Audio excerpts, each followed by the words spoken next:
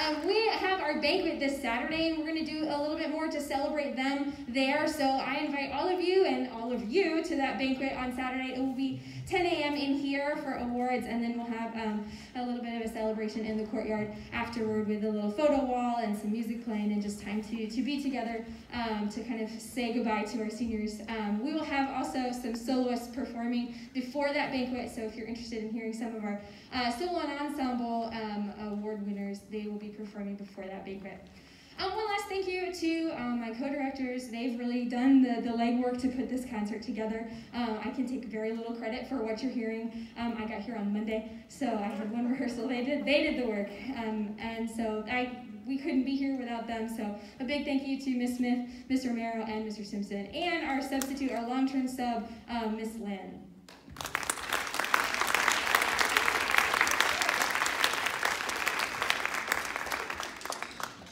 Tune you're going to hear today is called Imaginarium, and it features soloist Mackenzie Griswold.